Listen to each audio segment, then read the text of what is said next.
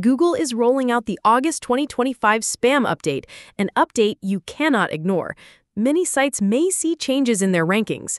In this community video, we're going to cover exactly what this update is targeting and the recommended steps you need to take to recover if your traffic has dropped. So let's dive in.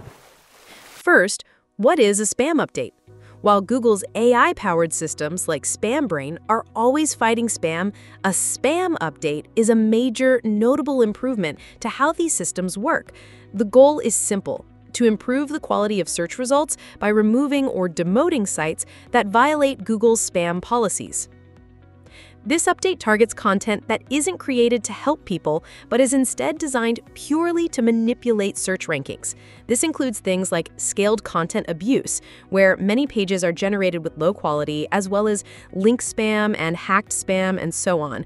Don't worry, we will cover all types of spam in the upcoming videos with best practices. The signs of being hit by a spam update are usually severe and sudden. You might see your pages ranking much lower in search results, or in serious cases, they might disappear from the index entirely. Unlike a core update, which is about content quality, a spam update is about a direct violation of the rules. The key is to figure out what kind of violation Google systems have detected on your site. Okay, you've seen a drop. What do you do? Your first and most important step is to honestly review Google's spam policies. Your next steps depend entirely on the type of spam issue. If it's an algorithmic issue, like scaled or thin content, this means Google's systems have decided your content is unhelpful. The only fix is to improve or remove the low-quality content. Be warned, Google says it can take several months for its systems to re-evaluate your site and trust it again, even after you've made improvements. If it's a link spam issue, if you are benefiting from unnatural, spammy links, Google systems have now neutralized that benefit. The documentation is very clear. If it's hacked spam, this is when your site was compromised and is showing spammy content like Japanese keywords or gambling links. This isn't your fault, but it is your responsibility to fix.